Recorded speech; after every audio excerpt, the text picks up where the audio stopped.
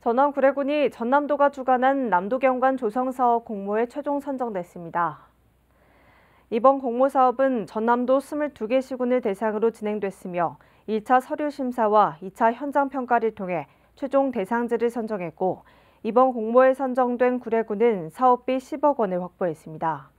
구례군은 지난 2020년 수해의 아픔을 치유하는 스토리텔링으로 수해 복구가 완료된 구례읍 서시 천변 제방 일원에 야간 경관 조명과 편의시설, 포토존 등을 설치해서 야간 경관 공간을 조성할 계획입니다.